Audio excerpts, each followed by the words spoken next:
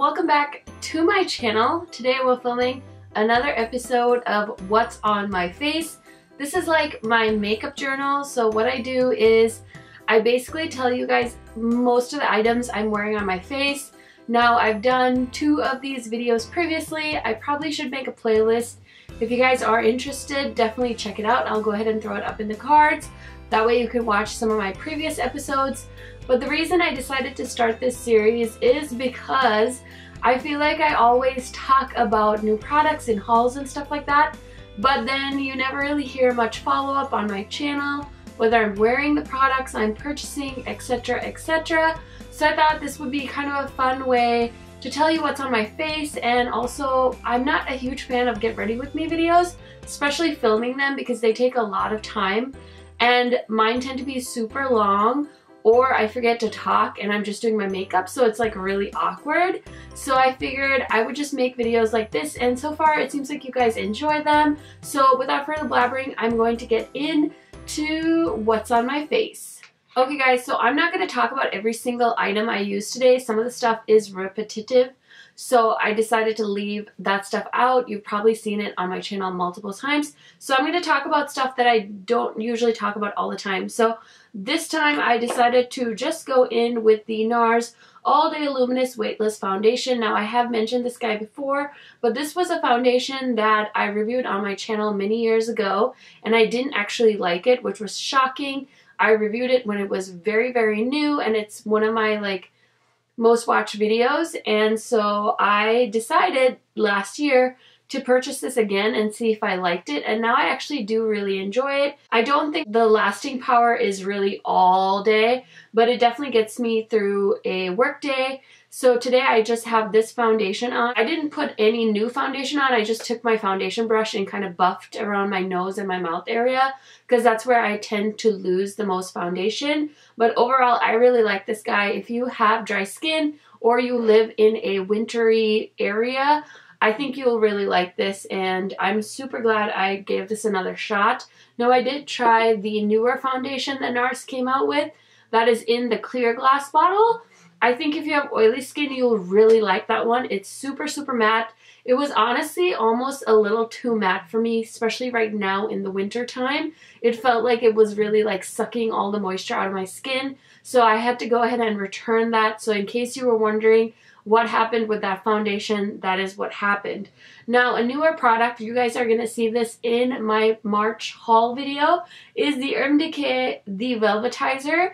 Now, I watch Andrea Matillano here on YouTube, and she raves about this stuff, so I was like itching to buy it, and I was waiting for like a coupon to come around, and it never really did, so I ended up using a gift card that I had to Ulta and purchasing this.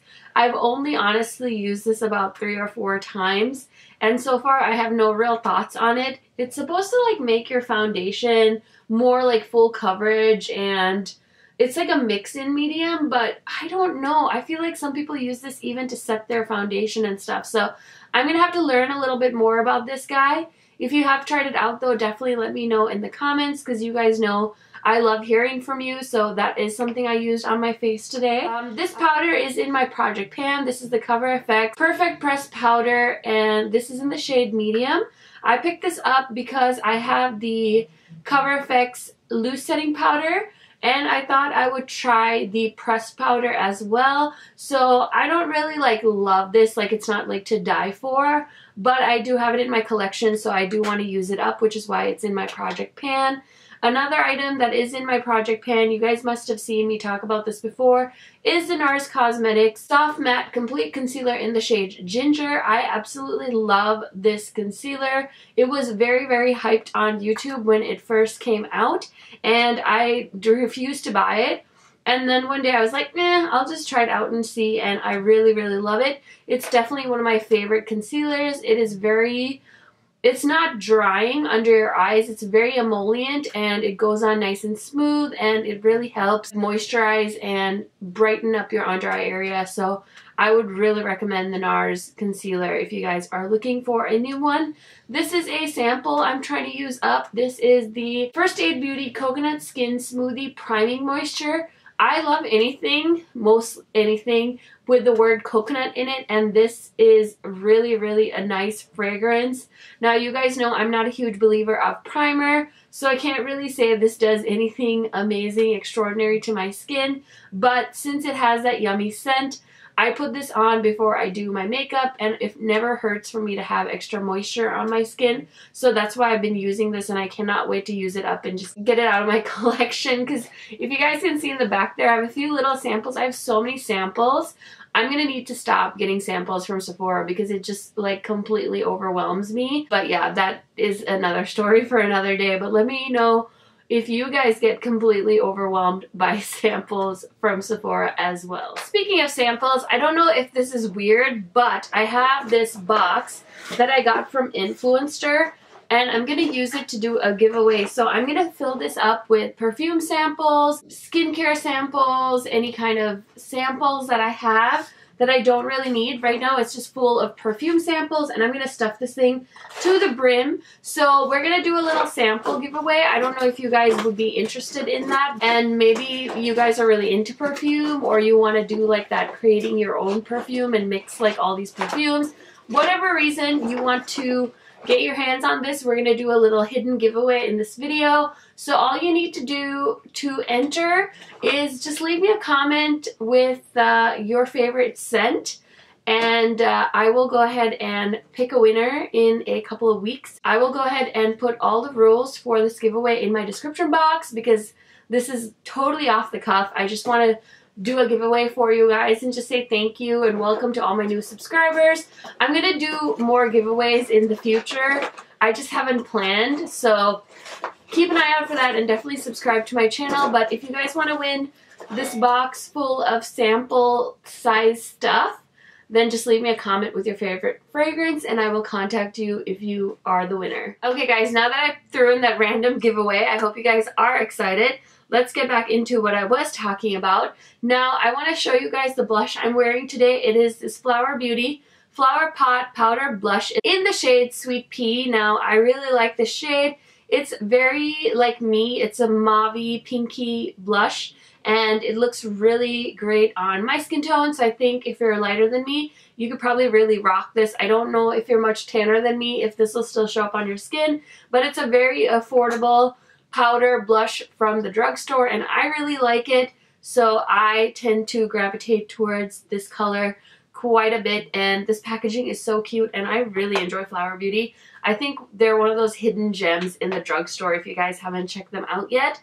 Let's talk about another drugstore gem. These are the Pixi Beauty Liquid Fairy Lights and this is the shade Rose Gold.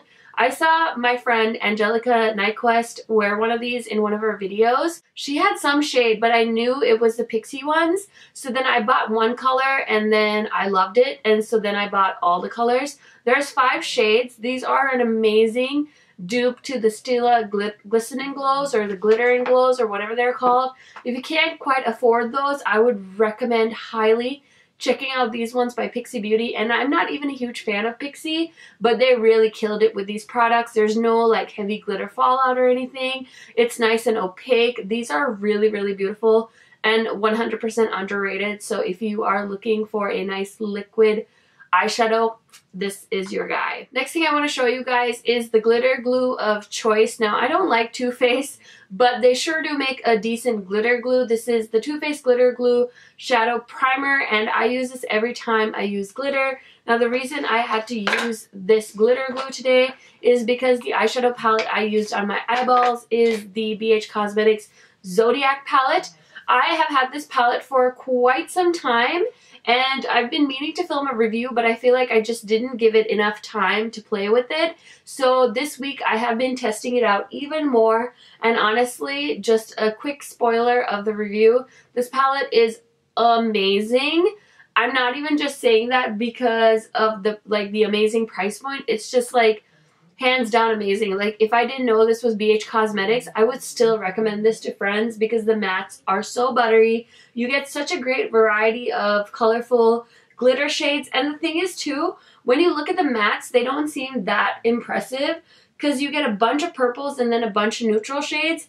But all of these mattes work so well with the colors they gave you for like that dramatic lid look, if you're going for like some of the sparkles, that it just works so well together. And I swear this palette is like beyond underrated. I think that if you still have the chance to get it, you should get it. And I will have a review coming up on this palette if you guys are interested in seeing that. I also have a swatch party video on this palette somewhere. And if I remember, I will link it for you guys.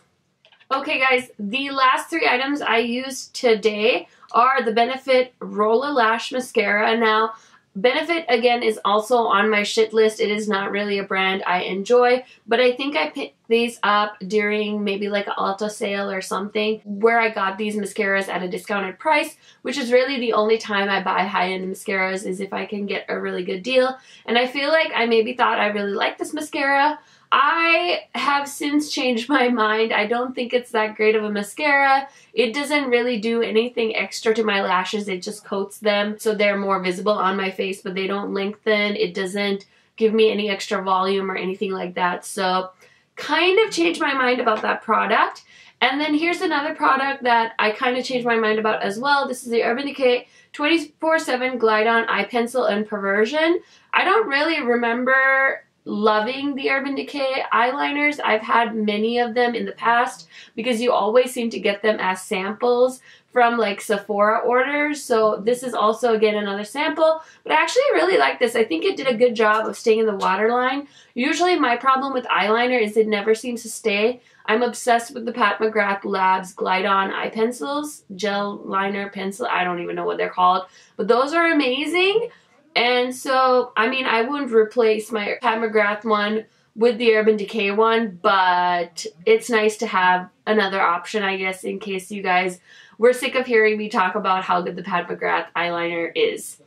And then the last item is this brand brand new thing that I just got in the mail. I wanted to put this on for filming, but this is not the lip color I wore all day today or anything like that. But I love the Kat Von D Everlasting Liquid Lipstick Formula. This is beyond comfortable. Like right now, I can't even tell I'm wearing a lipstick. And I got the shade Milag Milag Milagro. I don't know if I'm saying that right, but this is one of the new shades she released exclusively on her website. I decided to pick this up because Kat Von D just did 20% off on her website. And honestly, I wanted a few other shades, but I'm really trying not to buy makeup just for the sake of buying makeup or because it's on sale or because I want to hit the free shipping minimum.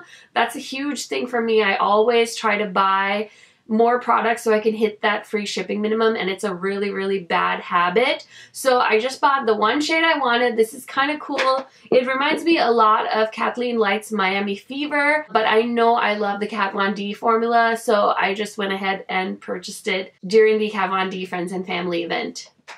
Okay guys, that is everything for this episode of What's on My Face. Let me know if you have any questions, comments, concerns, brilliant insights on anything that I talked about today. Thank you guys so much for joining me on this video and please don't forget to enter that giveaway. I know it's not like some crazy amazing prize or anything, but hey, some people really like perfume samples. I personally have a whole hoard of them that I like to keep in my purse, so I would love for one of you to win it. And don't forget to enter and don't for and don't forget to let your friends know. Thank you guys so much for watching. I'll catch you on my next video. Bye guys.